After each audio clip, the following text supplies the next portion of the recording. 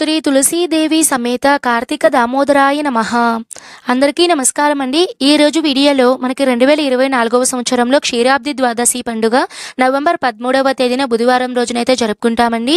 ఈ రోజు మనం తులసి చెట్టుకి అలానే ఉసిరి చెట్టుని ఇంట్లోనే చాలా తేలికైన పద్ధతిలో పూజ ఎలా చేసుకోవాలి నియమాలు ఏం పాటించాలి నైవేద్యం ఏం పెట్టాలి ఏ స్తోత్రాలు పఠించాలి అలానే అసలు ఎందుకు అసలు ఎందుకు తులసి చెట్టుకి ఉసిరి చెట్టుకి పూజిస్తాము ఈ రోజున? ప్రతి ఒక్కటి కూడా క్లియర్గా నేను ఈ వీడియోలో అయితే తెలియచేసే ప్రయత్నం చేస్తున్నానండి. తప్పకుండా ఈ వీడియోని స్కిప్ చేయకుండా చూడండి. కార్తీక మాసం అంటేనే ఎంతో పవిత్రమైన మాసం అండి ఈ మాసంలో క్షీరాబ్ది ద్వాదశి పండుగకు చాలా ప్రాముఖ్యత అయితే ఉందండి. మన పురాణాల ప్రకారం ఈ క్షీరాబ్ది ద్వాదశి రోజుని క్షీరసాగర మదనం అనేది జరిగిన రోజుగా అయితే చెప్తూ ఉంటారండి. ఈ రోజున తప్పకుండా మనము ఉసిరి చెట్టుని ఇంటికి తెచ్చుకొని ఉసిరి కొమ్మను కానీ లేదా ఉసిరి చెట్టుని కానీ మనము ఇంటికి తెచ్చుకొని తులసమ్మ కోటలో కానివ్వండి లేదా సపరేట్గా పక్కన తులసమ్మ పక్కన మనం వేరొక కోటలో అయినా సరే కానీ చెట్టును కానీ మనం పెట్టుకొని పూజలు అనేటివి చేసుకోవాలండి. తర్వాత తులసి అమ్మవారి ప్రాంగణంలో మనము పసుపు కుంకుమ పుష్పాలతో అందంగా అలంకరణ అనేది చేసుకోవాలండి. తప్పకుండా అమ్మవారికి పసుపు కుంకుమలు అనేటివి తప్పకుండా పెట్టాలండి. తర్వాత ఈ పూజలో మనము ఉసిరికాయ దీపం అనేది తప్పనిసరిగా పెట్టుకోవాలండి. ఎందుకంటే ఈ రోజున సాక్షాత్తు మనము అమలిక అంటే ఉసిరి చెట్టుకు మనం పూజిస్తున్నాం కాబట్టి సాక్షాత్తు ఈ రోజున మనం పూజలో కార్తీక మాసం ప్రత్యేకమైనది కాబట్టి ఉసిరి దీపాలు అనేటివి ప్రత్యేకంగా వెలిగించాలండి. లేదు అంటే పిండి దీపాలను కూడా వెలిగించుకోవచ్చు. నేనైతే ఈ పూజలో అయితే ప్రత్యేకంగా నా దగ్గర నారాయణ విగ్రహం అనేది ఉందండి. అలానే అమ్మవారి విగ్రహం కూడా ఉందండి. ఇలా నా దగ్గర అమ్మవారి ఫేసెస్ అయితే ఉన్నాయండి. ఈ ఫేసెస్కి అయితే నేను చక్కగా గంధం కుంకుమ బొట్లు అనేటివి పెట్టుకొని ఒక చిన్న పీఠం అనేది ఏర్పాటు చేసుకొని నేనైతే ఈ విగ్రహాలను అయితే పెట్టుకొని పుష్పాలతో అలంకరణ అనేది చేసుకున్నానండి. తప్పకుండా ఇలా పెట్టుకోవాలా అంటే అలా ఏం లేదండి. మీ దగ్గర రాధాకృష్ణుల ఫోటో ఉన్నా అదే మీ దగ్గర రాధాకృష్ణుల విగ్రహం ఉన్నా కానీ మీ దగ్గర వెంకటేశ్వర స్వామి లక్ష్మీదేవితో ఉన్నటువంటి ఫోటో ఉన్నా ఏ ఫోటో ఉన్నా సరే విష్ణు స్వరూపం ఫోటోని మీరు తులసి కోట దగ్గర పెట్టుకొని పూజ అనేది చేసుకోవాలండి. మీ మీ దగ్గర ఏ విగ్రహం లేదు అనుకున్నప్పుడు సాక్షాత్తు తులసి చెట్టుకి అలానే మీరు ఉసిరి చెట్టు కానీ ఉసిరి కొమ్మ కానీ పెట్టుకుంటారు కదండి. మీరు ఆ ఇద్దరికే మీరు పూజ అనేది చేసుకోవచ్చండి. నేనైతే ఇక్కడ నా దగ్గర విగ్రహాలు ఉన్నాయి కాబట్టి ఈ విధంగా చేసుకున్నాను. తర్వాత చక్కగా అమ్మవారికి రంగవల్లికలతో నేను అలంకరణ అనేది చేసుకున్నానండి. నేనైతే ఇక్కడ ఒక పీఠాన్ని పెట్టుకొని ఆ పీఠం మీద కొద్దిగా పసుపు అనేది బాగా రుద్దుకొని దాని మీద నేను పాదాలు అయితే వేసుకున్నానండి. ఎందుకంటే సాక్షాత్తు లక్ష్మీనారాయణులుగా నేను భావించి వారి పాదాలను అయితే నేను ఇక్కడైతే బియ్య పిండి సహాయంతో వేసుకున్నానండి.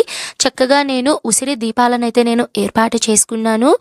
పూజకి ముందుగా మనము గణపతి విగ్రహం అనేది ఏర్పాటు చేసుకోవాలండి.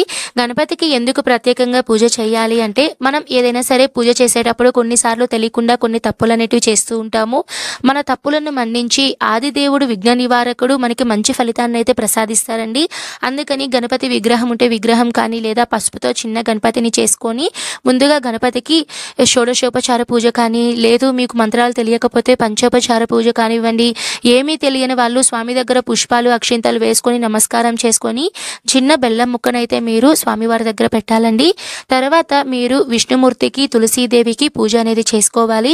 తులసి చెట్టు దగ్గరే మీరు స్వామివారికి అర్ఘ్యపాద్యాలను సమర్పించి స్వామివారిని ఆవాహించి ధ్యానించి మీరు షోడశోపచార పూజలతో కానీ లేదా అష్టోత్తర శతనామవళితో పూజలు అనేటివి చేసుకోవాలండి.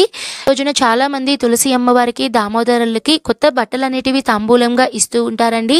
మీ శక్తి కొలది మీరు తాంబూలంగా కూడా ఇచ్చుకోవచ్చండి. మనకి విష్ణుమూర్తి ఆషాఢ శుద్ధ ఏకాదశి రోజున నిద్రపోయి కార్తీక శుద్ధ ఏకాదశి రోజున మేల్కొంటారు అని మన పురాణాలు చెప్తున్నాయండి. తర్వాతి రోజు అంటే ఏకాదశి తర్వాతి రోజున విష్ణుమూర్తిని బృందావనంలోకి తీసుకువస్తారండి. ద్వాదశి రోజున సాయంత్రం లక్ష్మీ స్వరూపమైనటువంటి తులసి మాతనికి అలానే విష్ణుమూర్తి అంటే దామోదరునికి వివాహం అనేది జరిపిస్తారండి. మన పురాణాల ప్రకారం ఒక చిన్న స్టోరీ ఉందండి. ప్రతి ఒక్కరూ ఈ కథనైతే తెలుసుకోవాలండి ప్రతి ఒక్కరూ తెలుసుకొని మన భావితరాల వాళ్ళకు కూడా తెలియచేసే ప్రయత్నం అనేది చేయండి.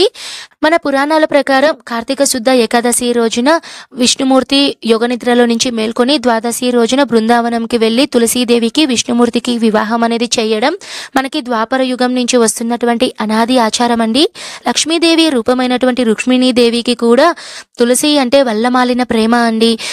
గోపికల యొక్క మనసు దొంగిలించినటువంటి మాధవుడిని తులసిలో ఆవహించుకొని తానే తులసి మొక్క అని రుక్మిణీదేవి పరవశించిపోయింది అని పద్మపురాణం చెప్తుందండి. అందుకే గోపాలుడు సైతం తులసి అంటే చాలా ఇష్టం. అందుకే తులసీదేవిని విష్ణుప్రియ అని కూడా సంబోధిస్తూ ఉంటారండి. సముద్ర మదనం ఉద్భవించిన తర్వాత శ్రీలక్ష్మీదేవిని శ్రీహరి పెళ్ళి చేసుకుంటారు. తర్వాత ఉద్భవించినటువంటి తులసి సైతం శ్రీహరినే పెళ్ళి చేసుకోవాలని కోరుకుంటుంది. అప్పటికే శ్రీలక్ష్మితో వివాహమైనటువంటి శ్రీహరికి లక్ష్మీదేవి ఆమెకు సహసతి అంటే సహసవతిగా ఉండేందుకు తులసీదేవి నిరాకరించుకుంది. అప్పుడు తులసీదేవి చిన్నబుచ్చుకుంది విష్ణుమూర్తి కాలక్రమంలో సాలగ్రామ రూపంలో తులసీదేవిని వివాహం చేసుకుంటాను అని విష్ణుమూర్తి తులసీదేవికి వాగ్దానం చేస్తాడు. అప్పుడు తులసీమాత బృంద అనే పేరుతో లోక సంచారం చేస్తూ విష్ణునామాన్ని స్మరిస్తూ తిరుగుతూ ఉంటుంది. జలంధర అనే రాక్షసుడు బృందను రాక్షస వివాహం చేసుకుంటారు. కానీ తులసీమాత మాత్రం ఆ అసురునికి లొంగకుండా అసాధ్యవతిగా ఉంటుంది. తులసీమాత జలంధరునికి చెప్తుంది. ఏమని చెప్తుందంటే నువ్వు ఎప్పుడైతే నీ నోటి వెంట నారాయణ అని మంత్రం జపిస్తావో అప్పుడు నా కన్యత్వానికి భంగం కలుగుతుంది అని చెప్తుంది. అప్పుడు జలంధరుడు అసురులతో విరోధి అయినటువంటి నారాయణ నామం నా నోటి వెంట పలకను కాక పలకను అని చెప్తాడు. రాక్షస దాచర్యాలు చేస్తూనే ఉంటాడు జలంధరుడు. కానీ జలంధరునికి మరణం అనేది అస్సలు సంభవించదు. ఎందుకంటే తులసీదేవి కన్యత్వం అనేది కాపాడుతూ ఉంటుంది.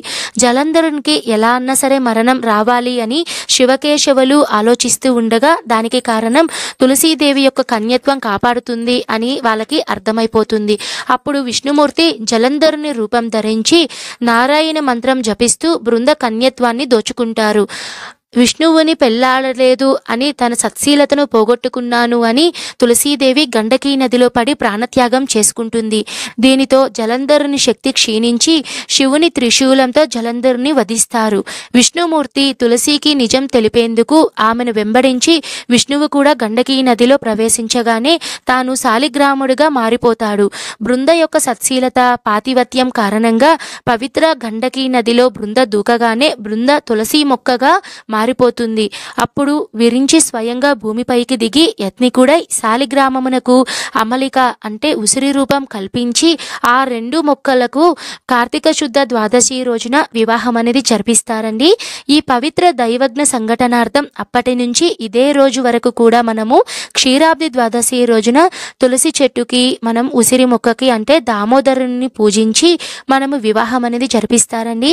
ఈ విధంగా అయితే కళ్యాణం చేసిన వారికి అలా అలానే ఈ కళ్యాణం చూసిన వారికి ఏడాదిలోపే వివాహం జరుగుతుంది అని ఒక నమ్మకం కూడా ఉంటుందండి. అలానే ఎవరైతే వివాహం జరిపిస్తారో వాళ్ళకి కన్యాదాన ఫలం చేసినటువంటి ఫలితం అనేది లభిస్తుంది అని చెప్తారండి. ఈ ఈ విషయాలన్నీ కూడా ప్రతి ఒక్కరూ తెలుసుకోవాలండి. ఈ విధంగా అయితే మనము తులసి మొక్కకి అలానే ఉసిరి చెట్టుకి పెళ్ళి అనేది జరిపిస్తారండి. నేనైతే ఇక్కడ పూజలో మొత్తం అష్టోత్తర శతనామావళి అన్ని మంత్రాలు పఠించి తులసీదేవి యొక్క అష్టోత్తరాలు తులసీదేవికి సంబంధించిన స్తోత్రాలు లక్ష్మీదేవికి సంబంధించినవి అన్నీ కూడా మనం పఠించి చివరిగా మీరు స్వామివారికి అమ్మవారికి కర్పూర నీరాజనం ధూపదీప నైవేద్యాలన్నిటినీ సమర్పించాలండి. చివరిగా మీరు సాష్టాంగ నమస్కారం చేసుకొని మీ శక్తి కొలది మీరు ఏదైనా సరే తాంబూలాన్ని సమర్పించాలి. నైవేద్యం అనేది మీ శక్తి కొలది మీరు ఏదైనా సరే పెట్టుకోవచ్చండి. ఈ విధంగా అయితే మీరు క్షీరాబ్ది ద్వాదశి రోజున పూజ అనేది చాలా సింపుల్గా చేసుకోవాలండి. పూజ అనేది చాలా సింపులేనండి బట్ నేనైతే మీకు ఎందుకు ఈ పురాణాల ప్రకారం పూజించాలి పెళ్ళి ఎందుకు జరుగుతుంది దాని గురించి ఈ కథ అనేది చెప్పడం వల్ల వీడియో అనేది కొద్దిగా లెంత్ అయింది. ప్రతి ఒక్కరూ తెలుసుకోవాలి అన్నదే నా ప్రయత్నం అండి.